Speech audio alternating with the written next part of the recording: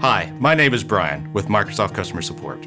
Today, I'm going to show you how to identify software-related problems for your Windows PC. We're going to explain what a clean boot does, how to narrow down the problem, and how to put it all back together again. Let's get started.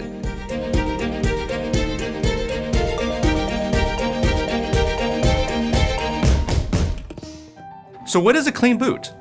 Clean boot is a troubleshooting step that loads the operating system without all the extra applications and services that are installed on your device.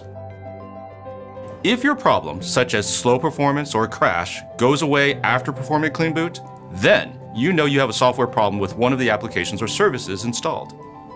We're going to use Bad App to represent any problem that you might be having on your device, whether it be a crash or a particular error message. To do a clean boot, we're going to use the System Configuration Manager, or the tool commonly referred to as msconfig. First, we're going to open up the Services tab and stop all unnecessary services. To do this, we're going to hide all the Microsoft services and then uncheck any of the remaining services. Next, we're going to disable all the startup apps. Startup applications are loaded every time you start the computer. To disable these, we'll be using Task Manager.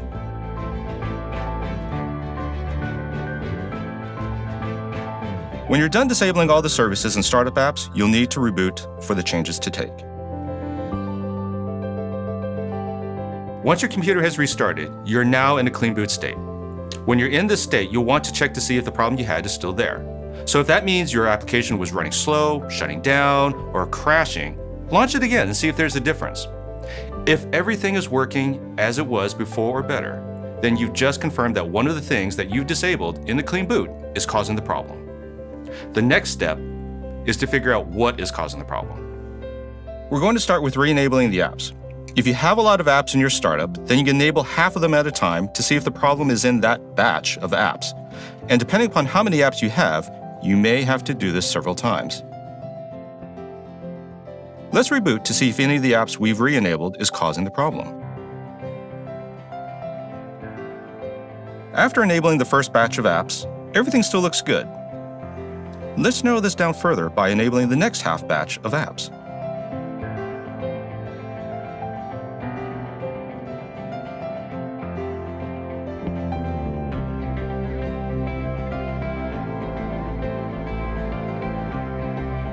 In this case, it looks like one of the apps we re-enabled is causing the problem. Let's single out and disable the program called Bad App and see what happens.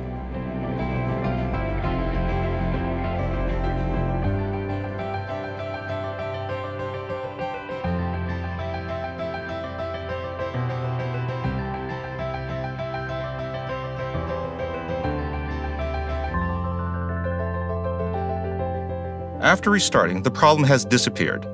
Now that we've narrowed it down to a specific app, you can check the vendor website to see if there's an updated version of the app to install, or you can uninstall the app either with Apps and Features and Settings,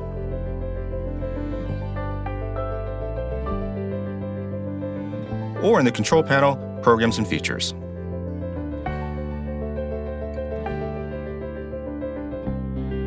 But for this demonstration, it's just a bad app that we don't use, and we're just going to delete it from the startup location we had placed it in.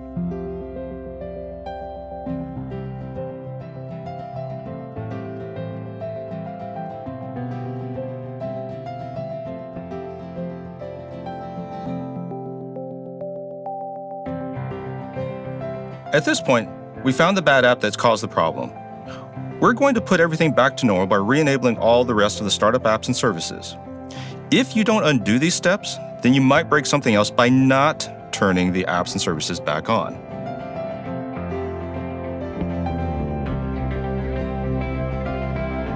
Now, what if you didn't find the problem with apps in the startup area? Then you would have continued the elimination process by turning everything on in the startup folder and then use the same elimination process to narrow down the problem in the services section.